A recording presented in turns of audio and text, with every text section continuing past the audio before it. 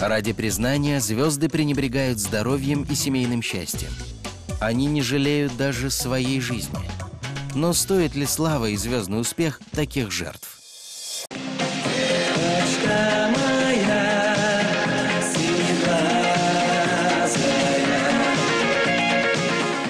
Достать билет на его концерт было счастьем для тысяч девушек, готовых рвать на себе волосы ради кумира. Его звезда вспыхнула ярко и быстро. Так же и погасла.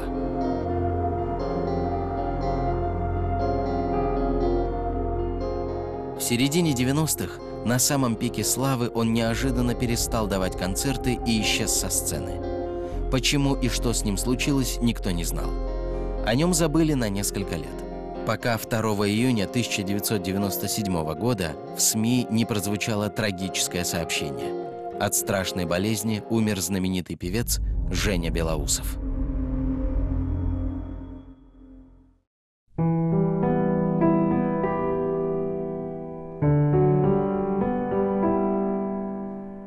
Какой была обратная сторона мгновенной славы любимца девушек 80-х? Женя Белоусов не был выдающимся певцом, он не был выдающимся вокалистом.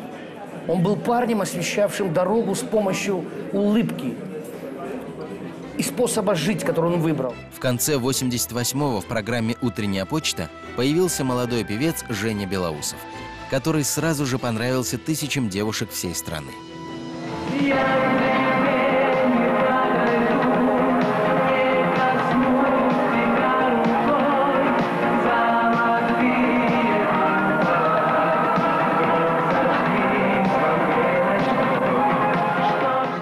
Уже спустя несколько дней его имя стало самым популярным в Союзе, а гастрольный график был расписан на несколько лет вперед.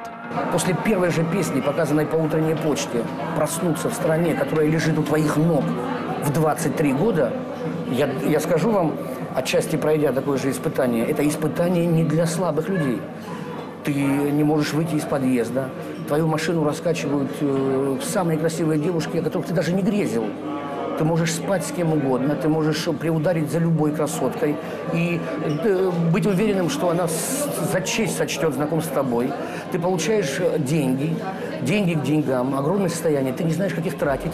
Но тогда мало кто знал, что все от автобиографии до манеры давать интервью – выдумка его продюсеров – Любови Воропаевой и Виктора Дорохина что «Утренняя почта» далеко не дебютное выступление певца, и за плечами Жени уже немалый музыкальный опыт.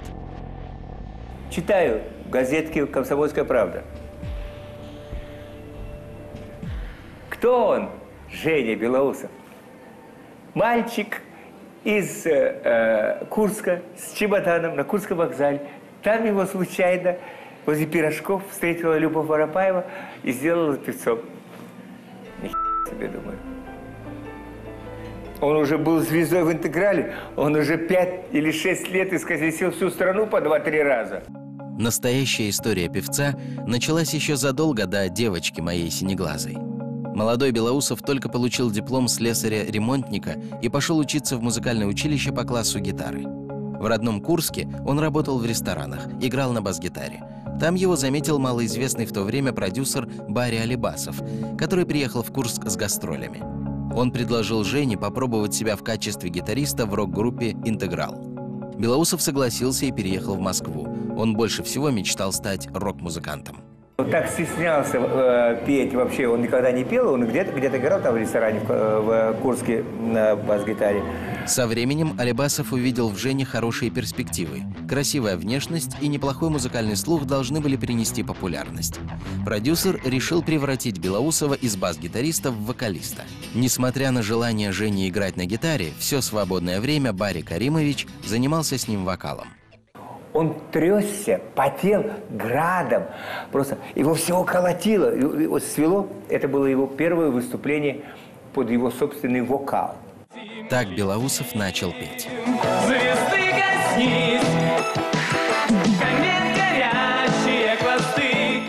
Еще некоторое время он продержался в интеграле, а когда понял, что получил достаточно опыта, решил начать сольную карьеру. Но выйти на сцену с рок-репертуаром он не решился. Думал, что сначала нужно засветиться в несколько ином амплуа. Пригодилось знакомство с поэтессой Любовью Воропаевой, которая предложила Белоусову его первый лирический хит. Вместе они поняли, что Женина внешность и попсовые песни – верный путь к быстрой популярности. Он всегда был красавцем, он всегда был смазливым, а, любимцем миллионов барышень. А Женя планировал лишь некоторое время попеть совсем неинтересные ему коммерческие песни, заработать достаточно денег, кардинально поменять репертуар и начать воплощение своей заветной мечты – о рок-группе. Вообще он э, пять лет или шесть лет проработал в интеграле. Он роковый исполнитель по своей природе. Он музыкант в первую очередь. И он же пел в репертуар роковый. Но успех пришел именно благодаря образу любимца девушек. Слава волной обрушилась на Белоусова. Он давал по три концерта в день и постепенно вживался в новое амплуа. Но вдруг во время очередного выступления ему стало плохо. Вызвали скорую. Певцу предложили лечь на обследование. Женя услышал от врачей самое худшее, чего боялся всю свою жизнь открылась детская травма, которая много лет не давала о себе знать. Когда ему было 9 лет, он, его сбивала машина, образовалась аневризма.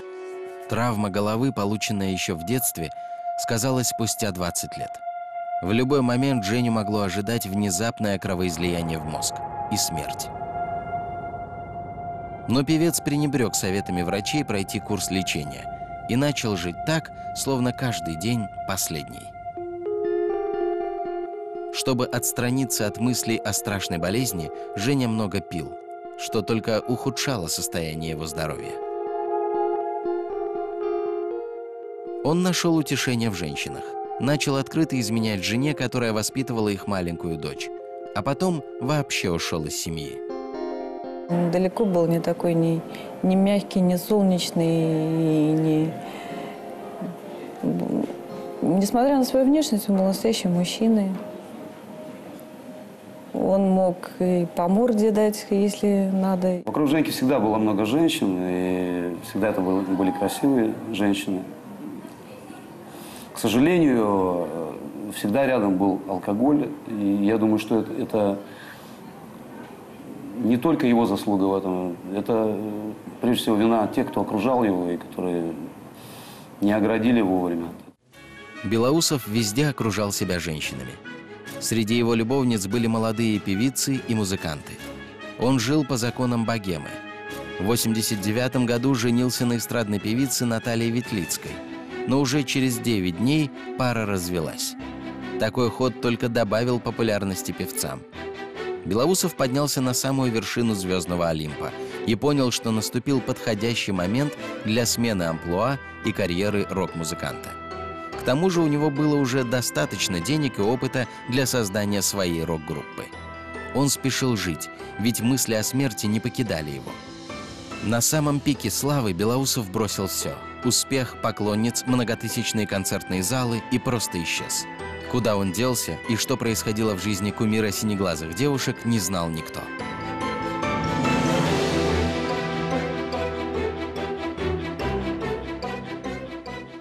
Когда перестройка началась, и началось бизнес, там все вот эти вот э, шоу-бизнес уже как, не то что шоу-бизнес, а вообще музыка ушла в сторону, потому что там у нас пушки, танки ездили по стране, в общем, все это по Москве. И он начал заниматься коммерческой деятельностью. 91 год. Перестройка. Белоусов думает, что уже через некоторое время он вспыхнет на сцене в новом образе рок-звезды и завоюет сердца миллионов. Но тут Женя знакомится с людьми, которые предлагают вложить все его сбережения в бизнес. Заманчивое предложение приумножить капитал не дает покоя. Белоусов соглашается стать компаньоном водочного бизнеса и с головой погружается в новое дело. Даже забывает о своей заветной мечте и творческих планах. На его день рождения выпустили водку с, этикеткой с его портрет. Так кумир девушек Женя Белоусов начал продавать водку под своим именем. На эстраде о Белоусове уже почти забыли. Его старые песни вышли из моды, а девочки, для которых он пел, уже выросли. Именно в это время в его жизни разворачивалась настоящая драма. Бизнес разваливался. В начале 90-х коммерческая сфера была очень опасной, особенно в водочный бизнес. На певца начали давить, угрожали и требовали денег. Он абсолютно не был готов к, к- к бизнес-жизни, к бытовой жизни. Это проблема таких людей, как он. Нападки ракетиров продолжались недолго. Вскоре они полностью развалили его бизнес. Отобрали все вложенные деньги, и в дополнение на Белоусова завели уголовное дело. Неудача в бизнесе – полное разорение. Лекарством от депрессии и нервных срывов стал алкоголь. Страшная болезнь прогрессировала и все чаще давала о себе знать, но Женя старательно пытался ничего не замечать. Чтобы вернуться к прежней жизни, он снова пошел на сцену но места на эстраде для него больше не было. Его прежний образ исчерпал себя и был никому не интересен. Старые песни Белоусова критиковали и называли бездарными, а новые не становились популярными. Воплотить мечту о рок-группе так и не удалось, ведь денег едва хватало на жизнь. И он думает, мой образ устарел, я слишком глянцевый для... А Он хотел поменяться, э, поменять репертуар, стал менять его, его не принимали новым. После таких жизненных испытаний здоровье певца ухудшилось. В 1997 он лег в больницу. Думал, что немного отдохнет, пройдет курс лечения, и уже через неделю его выпишут.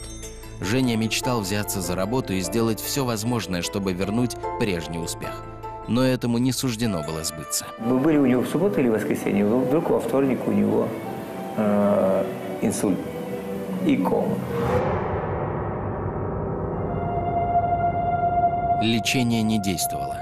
Белоусову сделали сложную операцию на головном мозге. Женя впал в кому. А спустя несколько дней произошло кровоизлияние в мозг. Спасти Белоусова было уже невозможно. Почему мой Женя Белоусов ушел? Почему ему? Ему за что? Я не могу найти ответ на этот вопрос. И поэтому я утвердился от этого гроба. Я никогда не поверю в вашего Бога. Никогда я не буду верить. Ибо он нес- несправедлив. Он чудовищно несправедлив. Когда мы были у него в больнице, Женя сказал, ребят, не пейте. Гоняясь за славой и деньгами, Женя Белоусов спешил жить. Он пожертвовал здоровьем, семейным счастьем и своей жизнью, так и не исполнив заветную мечту. Он не хотел замечать то счастье, которое действительно было в его руках. Для его первой жены, оставшейся с девятилетней дочерью на руках, смерть мужа стала худшим потрясением в жизни. Она была единственной женщиной в Жениной жизни, которая любила его не за деньги, славу и популярность, а за то, каким человеком он был.